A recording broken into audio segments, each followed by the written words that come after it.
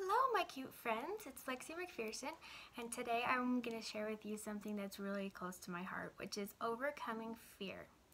So, when I was five years old, I started to play the piano and I started taking piano lessons. And I was so excited, and I was really good at it, and I loved it. And I really wanted to share my talent with other people. And so the time came for me to have my first piano recital, and I was so stoked. It was going to be with a couple of family friends and I was going to play alongside kids that I'd known for a while and I was really, really comfortable with. In fact, they were some of my best friends. So I was really excited. So the day came and we went to my friend's house and we all sat on the couches with our parents and my friend went up to play the piano and all of a sudden I got so scared and the fear crept into my brain and it took my desire to play the piano right away. I was like, I don't want to do this at all. And I sat on my mom's lap and I cried and I never shared the cool song that I'd prepared with any of my friends. And that really continued for a really long time. And every time that people would ask me to play the piano, I would say, no, no, no, no, no. And I would get so scared and I'd get so anxious and I'd get really worked up until one day, a couple years ago, I decided that every time somebody was going to ask me to play the piano, I was going to say yes and that was really, really, really scary.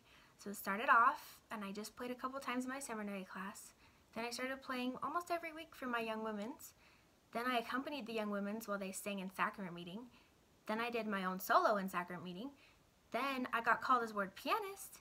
And then I got more confident with my skills, and so me and my best friend decided that we were going to do the talent show at our school. And I played the piano for her while she sang in front of over 500 people and we did it twice. And it was so scary. But I realized by doing this that we have a really simple process to overcome fear. First, we have to recognize that we have a fear. Because if I didn't even recognize it, you can't do anything about it to fix it, right?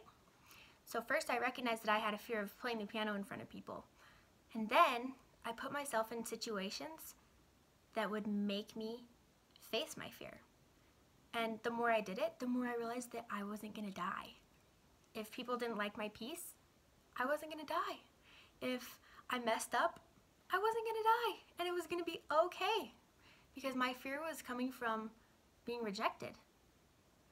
So I'd invite you all today to see what your fear is. And is it really gonna kill you? Is it really gonna be that bad? Try facing it. See what happens.